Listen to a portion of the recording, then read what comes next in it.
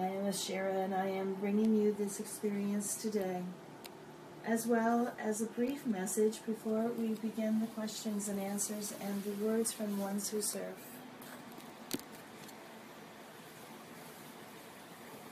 There has been much wisdom today in the discussions that has taken place. Much wisdom, and each of you are probably feeling the same inclination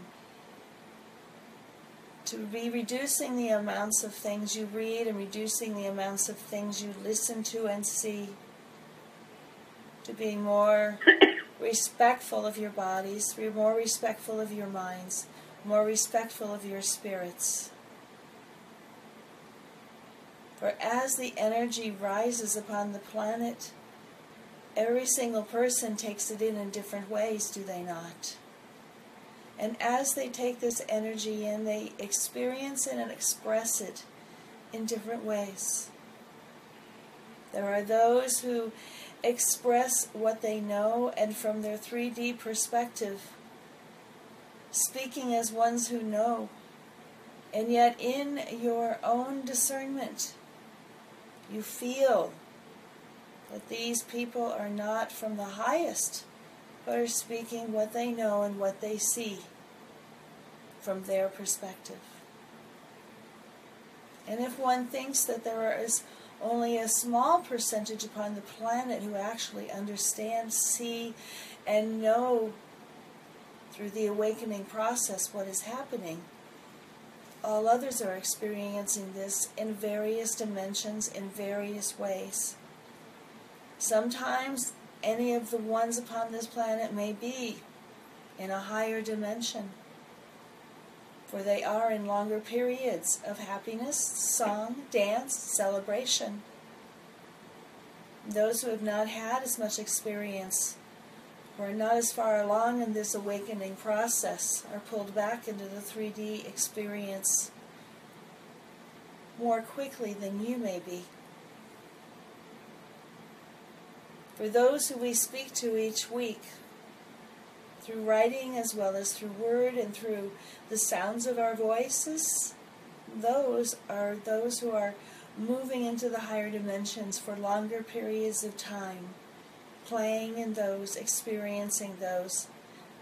Those in this room, those on the phone, and those who read the words can sense more quickly when someone is coming from a different perspective than is what you resonate to. We know that this is taking longer than you expected. This is taking longer than we who have been planning this and are working on this have expected because the consciousness of the planet has taken turns that we did not see. Those who we have been actively, hmm, let's say, planning games against that we wish to take out of power, and they have done their deeds too in ways that we did not expect. But that does not mean that we have not continued the celebration. It does not mean that we continue to know that you are closer than you would ever know to this changeover. So we bring you that love today. The love and the sharing, that all of that those things that you expect and that you feel and that you see and that you know, those are yours. And as much as you can, free yourself from those things which bring you back into a 3D perspective. For every time you can consciously do this, this will bring you more into the realms where you can make the world what you choose to make the world in. You will be reminded of the strength and the power that you have and that you are. And that you will come to believe more and more in the believing to see first. We give you our thanks. We know that you are keeping on and we know that every time that we meet with you, things are different each week, each day, and ever and evermore each month. We are going to step aside for the moment and allow the ones who serve to come through to share with you today. Thank you, and we will be together at the end. Blessings. Thank you. Thank you.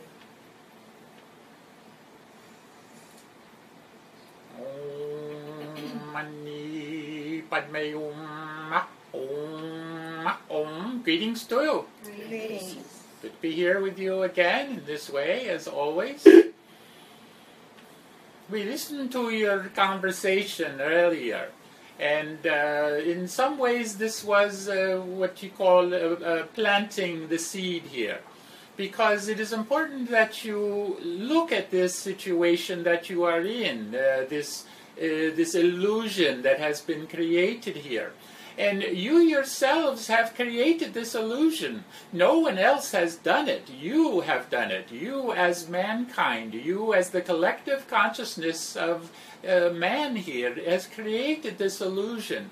And uh, there is much more to this, though, than you uh, be- even begin to understand, in that the entire solar system is also an illusion, as well as the galaxy and the universe itself and even beyond that. It is all a part of the grand illusion.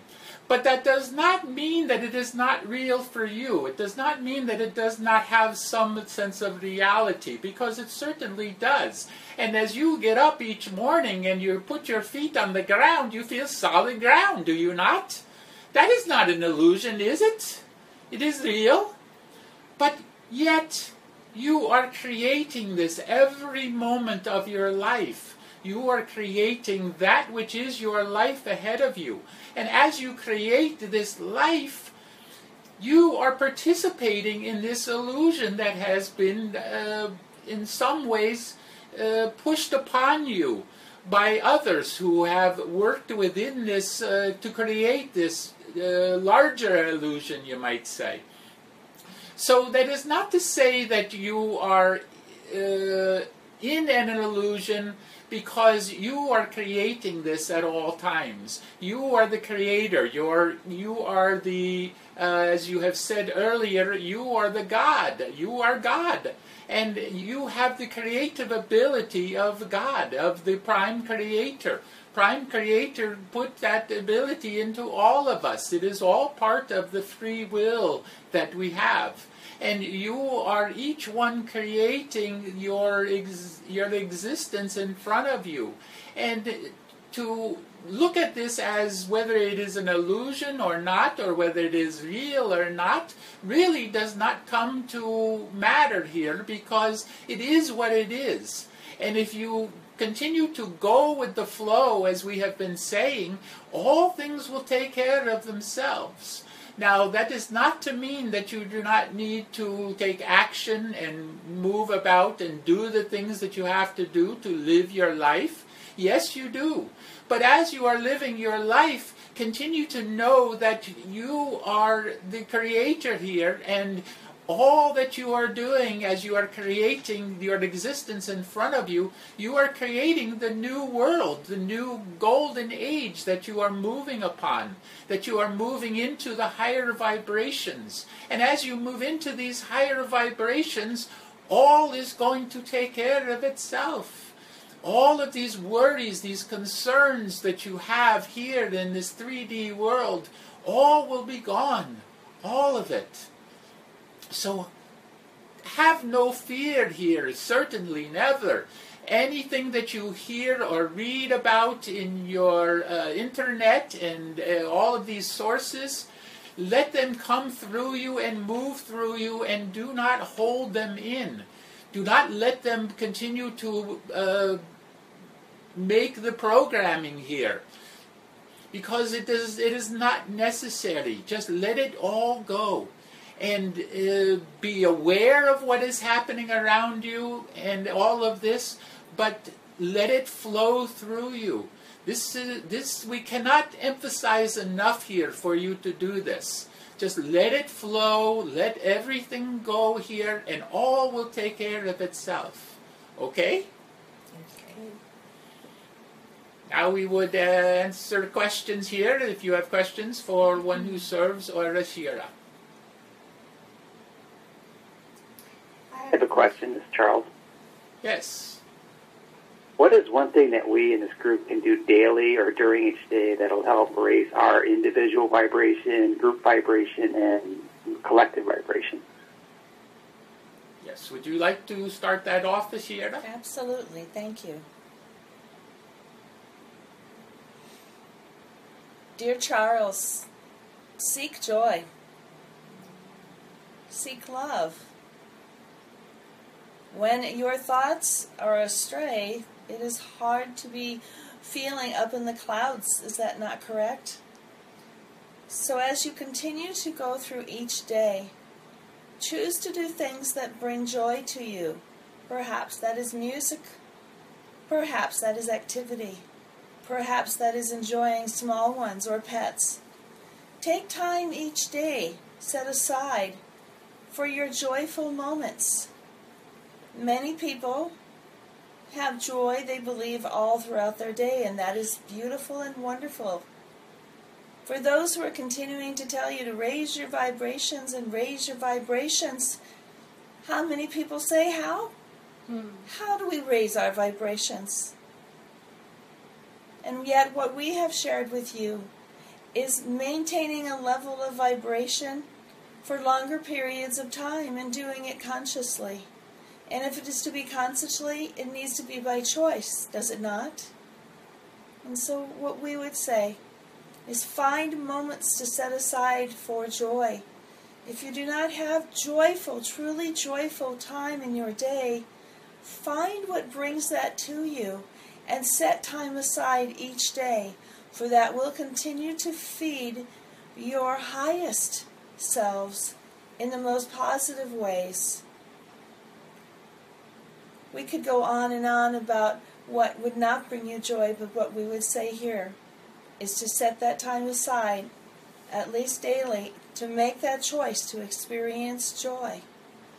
And one who serves, you would share what? Yes. We would also add here that when you are in uh, situations where you find yourself uh, being somewhat down or something of this nature, simply look at what is uh, beautiful in your world. If you are outside, look at the sky. Not at the chemtrails, do not look at that, but look at the clouds, look at the sky beyond this, look at the trees. Focus on all of the beauty around you. See the beautiful earth that is here. And then, if you are inside, see what is right in your life. See what is good in your life. Be thankful, be grateful for all that is there. And every time you do this, every single time you raise your vibration. So if you wonder how to raise your vibration, this is how you do it. You change your thoughts. Your thoughts become positive you focus on what you are thankful and grateful for, and your vibration has increased.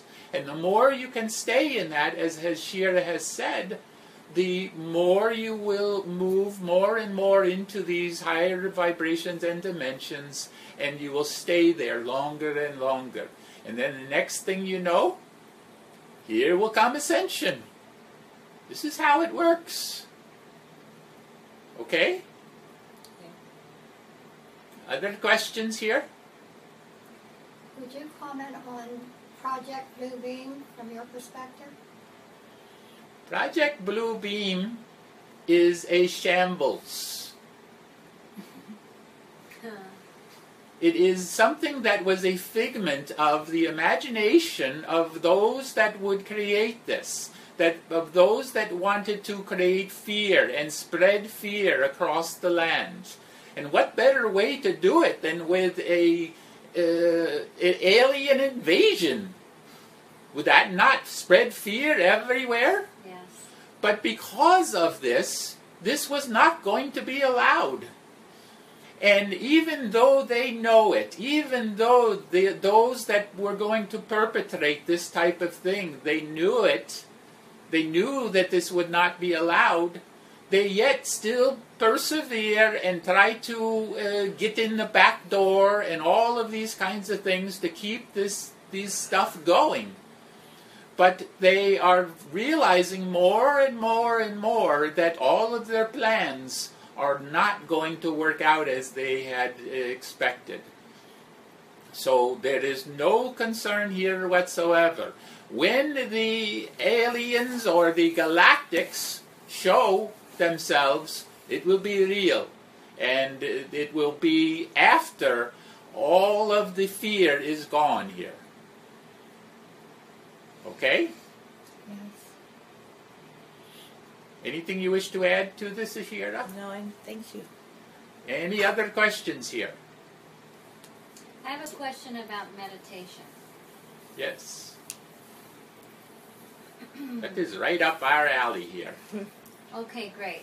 So I found myself having a very strong reaction to something over the weekend, an emotional reaction that uh, was very painful for me in terms of emotion, like feeling sadness and frustration and upsetness from long ago. It was a reaction from something that happened a long time ago.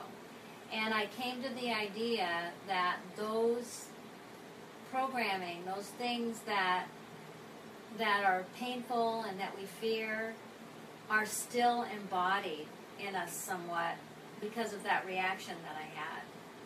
So I'm asking, and I'm pretty sure I know the answer to this, but I'm asking to let go, as you were speaking of, and you know, let let go and move toward more beautiful things. I believe that a concentrated effort in meditation to meditate on on something beautiful each day would create the environment to let go. I believe that because emotion we have such large emotional bodies as human beings that it's difficult in the moment to become conscious of letting go unless we've prepared ourselves through another avenue, such as meditation. Would you agree with that? Certainly. Now, to look at the idea of meditation and what is meditation, and to simply quiet the mind and focus on your breathing. That in itself is something grand beyond what most people can do or do do. Because uh, how often do you sit and just relax and focus on your breathing in and out as you have been taught to do and be able to quiet the mind?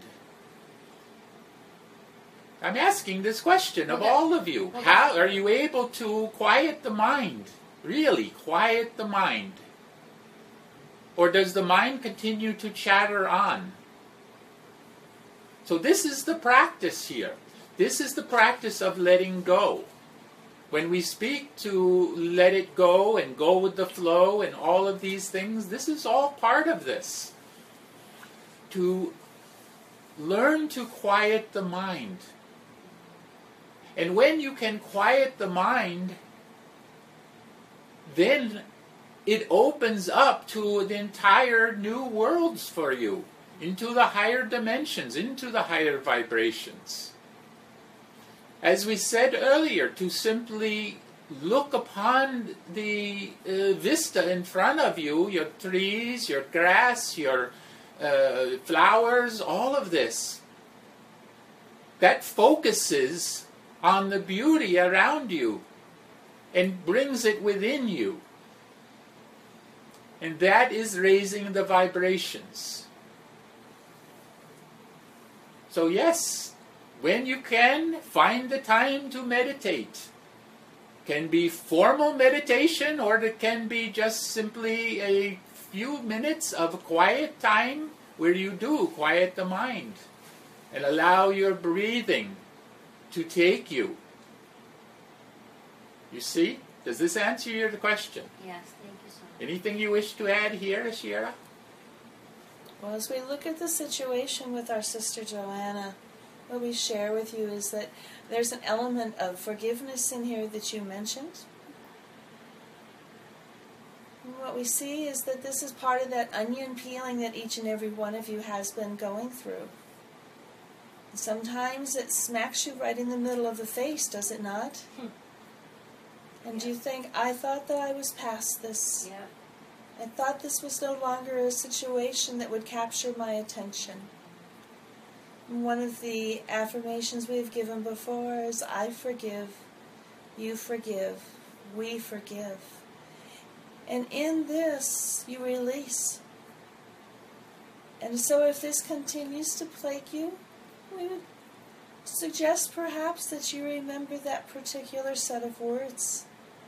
Because there is no blame, there is no holding on to this. It is a release mechanism that assists you. And this is a question that arises for each and every one of those in the circle. When again the onion continues to peel down and you feel as if you're in a new place, you feel as if you are viewing things from a different perspective, and then something hits an old hot button. And you can take time in release and letting go. And the meditation practice, as spoken of by one who serves, is that time, that essence breathing in and breathing out, and concentrating on that and allowing your mind to come to peace and release and forgiveness. Does that help? Yes, perfect. Thank you so much. You are so welcome. The other questions here now. I have one. Yes. Um, Recently, I've been seeing 11, 11, 11, 11 everywhere I go. Um, 2, 3, 4, 1, 2, 3, 4, 3, 3, 3, 4. And um, in clocks and in, in, you know, licenses everywhere. And, you know, I'm thinking that it's meaning new beginnings for me. And um, also, I've been kind of getting that. Archangel Metatron's been trying to contact because I worked with him many lifetimes and kind of manifesting, keeping my thoughts uh, positive, and actually, I have been manifesting a lot more lately, a lot more good stuff. Um, so I just wanted to see, kind of know that's very associated with ascension too. So, but as you know, my star family's trying to read, but I feel as if like someone's trying to reach me through this. so. Yes, this is all part of the shift or the transition that is going on. And uh, all this is pointing to change. Change within you, change uh, all around here, because many are having this exact same experience uh, and have been for some time. You could look uh, within this room itself here and in this group, and many would say the same thing that they have been having these experiences for some time now. And uh, it is simply a part of the shifting that is going on and the sense of focus and awareness that you are doing now because you are coming uh, out of the, uh, uh, the veil. The veil is dropping. And as it continues to drop, your awareness continues to go up and increase. And of course, as you uh, your awareness increases, so do your vibrations. And uh, this is how it is working. Anything you wish to add here, Ashira? No, we would just be chuckling because we agreed that many in this room can share that same experience the opening of the portals, the gateways, Yes. and heralding that for each and every one. Does this answer your question? Yes. Any further questions here? Um. Well, yeah. Well, Yes, yeah, I have one. Yeah. We hear one from the uh, your phone land. Yes, Master. I have this light that keeps coming in front of me. I think they're out of coming from my eyes, and it's lavender, and then sometimes it's gold, and I do not understand. It's about every 30 seconds when I'm aware that I see that light. Could you help me explain to me what that may be? Would you like to go with this first, Ashira? Oh, sure, I can handle this first. We have spoken many times that as the veil comes down, you are having glimpses of that world beyond. That in part is what is occurring here, but it is also your observation of your guides with you. who are sharing with you and are bringing you information at another level, but also presenting themselves so that you know that you are not alone, dear one. That you have others that are with you, opening that veil, showing you the direction that you are leading, and helping you to be at more peace. Does that make sense to you? Yes. And one who serves. And we would add here uh, that not for the, only the one who has asked this question, but for all who are listening here or be reading these words after. All of this is part of the changes here, part of the shift, part of the transition, moving toward ascension. So you will have more and more of these experiences of lights and uh, uh, seeming uh, movement uh, out of the corner of your eye and all of these types of things. You will look at the sky and see things that uh, someone else standing next to you cannot see because you now are moving to the point where you have the eyes to see and the ears to hear. And as you are utilizing these uh, this this transition within you more and more, it will continue to develop more and more. So you will have more of these glimpses beyond the veil. You will have more and more of understanding of what is happening in the deeper levels of what is uh, occurring here. So that you can see beyond what others may be seeing or experiencing and therefore then be able to assist them in understanding what they are going through. You see? Any other questions here? Cynthia, do you have a question? No, I think I'll pass today. Anything further here before we release channel? I have a couple more questions, this is Charles. Yes. I have a mother that is uh, so deeply wounded from past traumas that she is stuck in her asanas and core issues. What can I do to help her? Shira?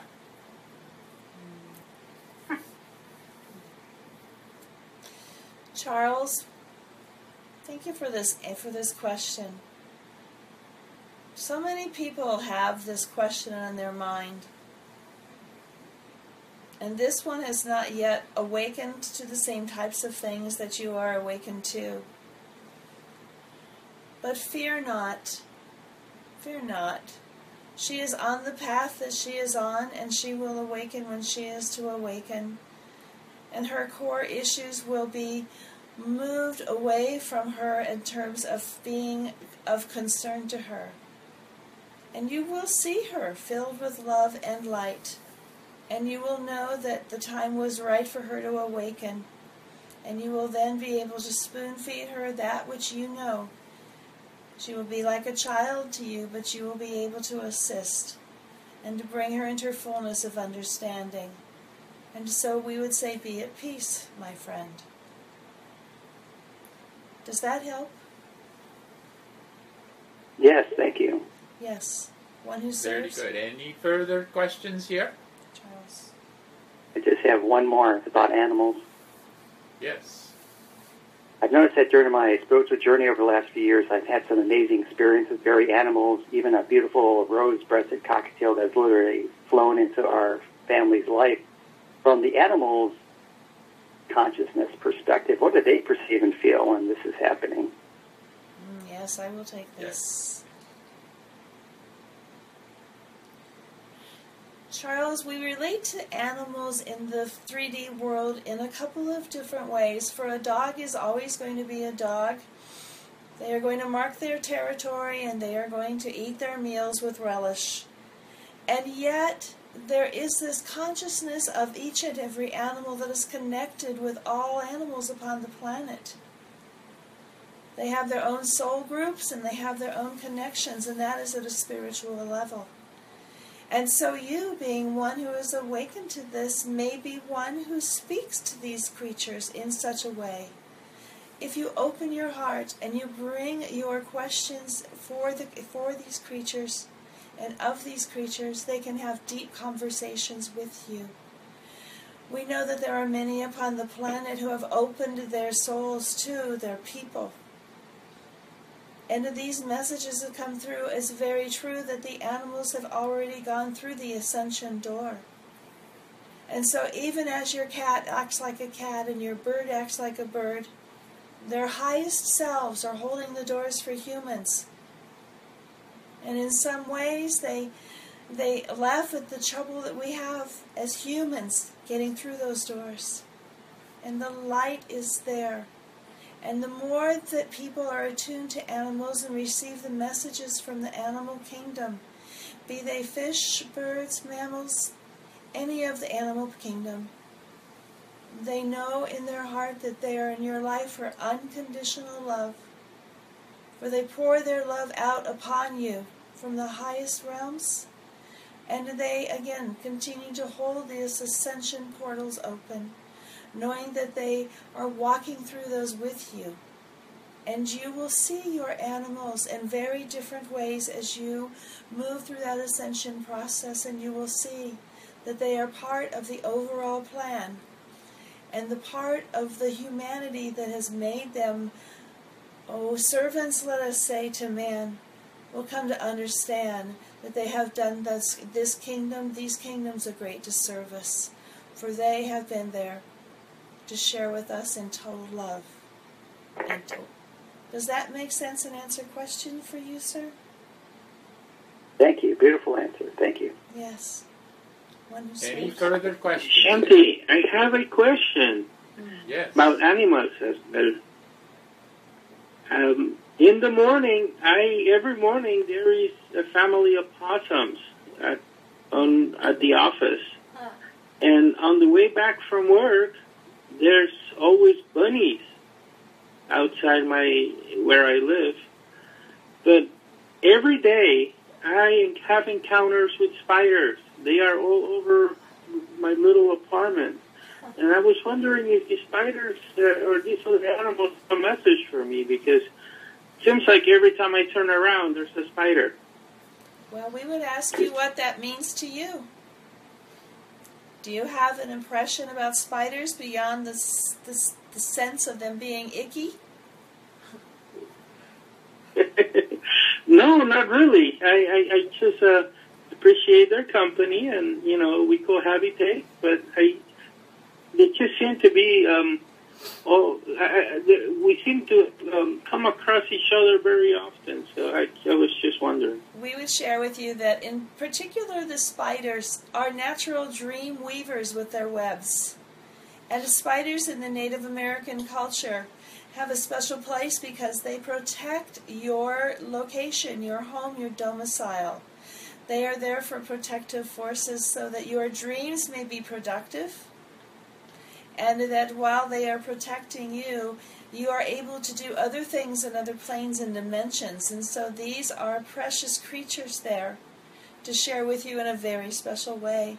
And the other creatures are there to continue to assist you with your connection with the rest of the planet and with all of the kingdoms, that you might not become so focused on work or that work you even do for this group, but to remember that you are one of all with all on this planet and to get that connection daily, twice a day, is to bring balance to your soul. And do you have time to stand barefoot upon the soil with them? Uh, I, I, I will begin doing that. We would suggest that, for they will commune with you and share of their messages for the future. But the spiders at the time had that to give to you, and they wish you to know that they will live with you in peace and harmony. Bless you. Thank you very much. Any further questions here? I have one. This is Diana. I Yes. walk into work, and as I'm walking into work, the path that I walk on is just covered with birds, lizards, and I, I think to myself that they have nothing to fear. I'm going to walk through, and that I love them, but they do scamper away, but they don't fly. So my question is, do they feel my energy when I try to calm myself to walk through them? Do they feel it? Most certainly. Thank you. And we would add, Diana, that At times, if you have a little extra few moments, ask of them, Do you have a message to share with me? Because there are times you are going to hear in your mind an answer, and it will put a smile upon your face. Thank you. That's you. Anything further now? Yes, I have a question. Yes. I have a sister who's uh, my younger sister who's constantly in and out of the out of the hospital with her conditions. Um, would you be able to shed some light on what might be going on and um, what um, you know how how I can be of comfort in you know in, in her condition and what's going on? Shira? Can you please say her first name? Shirley. Shirley.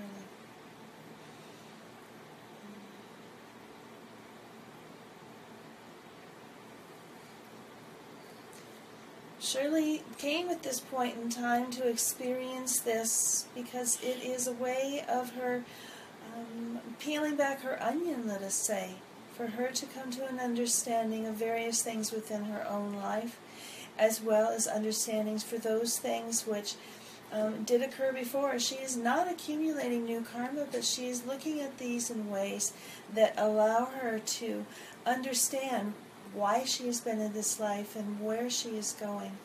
We would say the best thing to do to support her is to love her, to be with her and embrace her, to assure her that you are standing by her, and that although you will not take this on for her because that is not your role, that you are here to support her as she makes choices that she does each and every day. We know that is not a great deal of information, but that is what we see at this time. Bless you. One who serves, would Good. you see more? No, that was uh, sufficient at this time. All right. Thank you. Anything further here? This channel now must release uh, what is your, the nature is calling here. Before though we do, we just to share here briefly that uh, all is happening for a reason. All is a part of the greater plan. You are all a part of the greater plan. And there is no greater part or lesser part to play here. You all have your part to play in this uh, grand scheme of things here. So just do what you do each day, but find yourselves more and more moving into these higher vibrations and staying there longer and longer. And you will find as you do this that uh, everything is being taken care of. You are being taken care of. That all is as it needs to be. And the more you move up in consciousness in this way, the more you will feel that way. And you will look at those things that are happening around you in the external world, in this 3D uh, illusion here, and you will realize that it is all part of this illusion. Shanti, peace be with you. Be the one. Shanti. Thank you Yes, so and. I would close to just to say thank you for the questions of the animal kingdom. We brought this up during the discussion in, in the way that Susan was showing us today. For it is time to honor all of those upon the planet and to know your oneness with all. And to remember that those who are sharing the planet with you come here with the greatest intention of love and with their messages and their service to bring you to where you need to be as an entire human family. We love you. We give you our peace. Namaste. Namaste.